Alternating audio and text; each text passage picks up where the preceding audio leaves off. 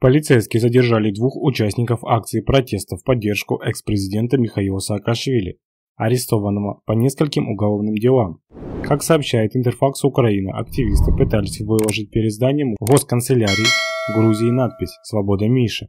По данным агентства, акция была организована оппозиционной партией «Единое национальное движение» в преддверии встречи премьер-министра Грузии Иракли Гарибашвили и министра обороны США Ллойда Остина который находится в стране специальным визитом.